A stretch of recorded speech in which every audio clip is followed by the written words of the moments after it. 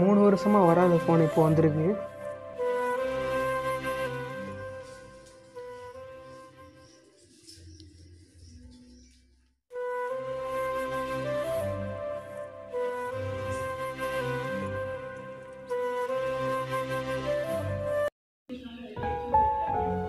அண்ணா ஏன் ஒரு மாதிரியா உட்காந்துருக்கீங்க?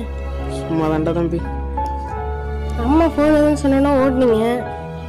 திருப்பி ஃபோன் அட்டன் பண்ணல.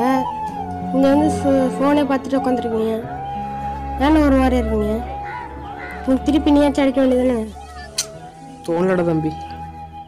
திருப்பி அவங்க அடிக்க மாட்டாங்களாண்ணா? ம் இனிமே அவங்க அடிக்க மாட்டாங்கடா. நானே? அட்டன் பண்ணி பேசுனேன். பேசுனேன்.